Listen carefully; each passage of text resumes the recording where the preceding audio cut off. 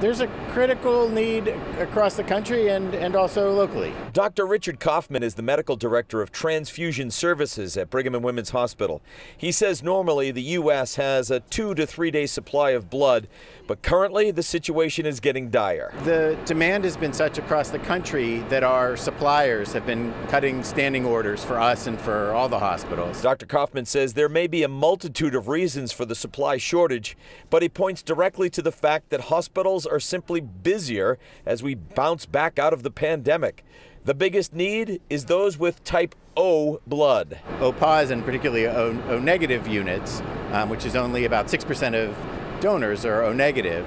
Um, that's the kind that we need to get the most. To help with the supply, the Kraft Family Blood Center in Boston is urging donors to give blood or platelets during a drive this week.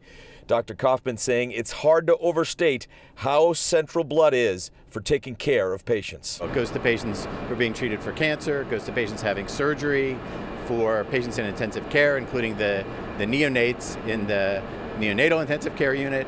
And it's a really vital support support for all these types of patients. If you'd like to donate, appointments are recommended, but they are accepting walk ins.